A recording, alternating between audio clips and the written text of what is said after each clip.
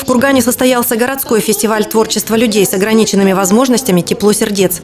В городе он проходит уже в одиннадцатый раз. Люди счастливы от того, что у них есть такая удивительная возможность самовыражаться, говорит директор городского дома народного творчества Алла Мирская.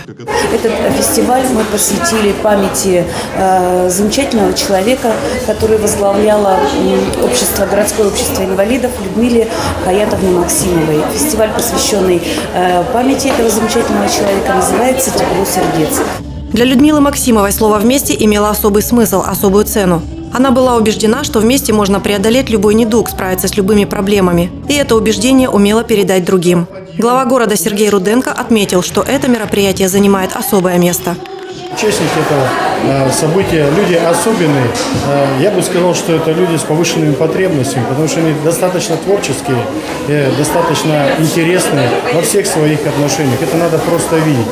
В фестивале принимают участие порядка 320 человек. На традиционной выставке декоративно-прикладного творчества были представлены мягкая игрушка, бисероплетение, изделия из природного материала, вышивка, вязание на спицах и крючком. А с этого года организаторы фестиваля решили ввести в программу исполнительское мастерство. Это хореография, вокал, жестовое и хоровое.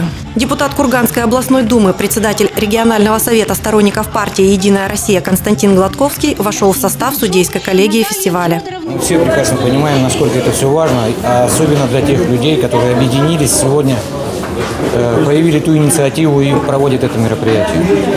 Остается только приветствовать, помогать, всячески способствовать проведению этих мероприятий. Все участники фестиваля получили благодарственные письма за подготовку выставки и творческих номеров для концерта. И уже начали подготовку к встрече в 2015 году. Лариса Драгункина, Андрей Бахарев, информационное агентство «Курган.ру».